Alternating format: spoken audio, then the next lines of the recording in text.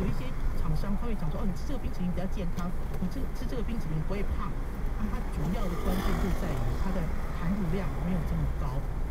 那因为这家店呢，这家店在永康街附近，它在宾馆的附近，就原来旧宾馆附近哈，已经试卖了差不多一个月。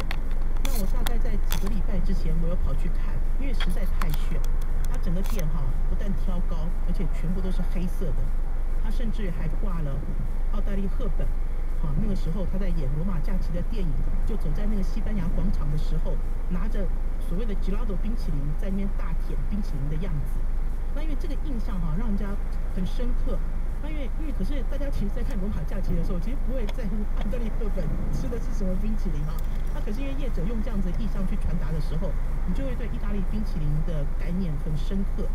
那我记得我我大概几个礼拜去之前哈，它整个冰店哦空空荡荡，只有卖两种双淇淋。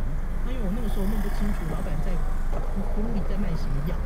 那他昨天开了记者会，今天正式开张。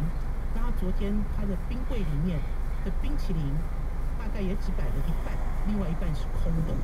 那这个老板我认识哈，这个老板他是。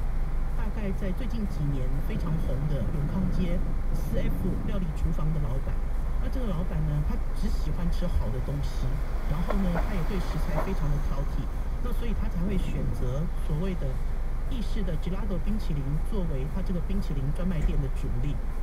嗯，我自己吃了他的东西哈，我吃完了之后，我我有一些东西想跟大家分享，就比如说大家都吃过抹茶冰淇淋吧，啊。可是呢，你没有吃过的抹茶冰淇淋是它只有苦味，你尝不出甜味，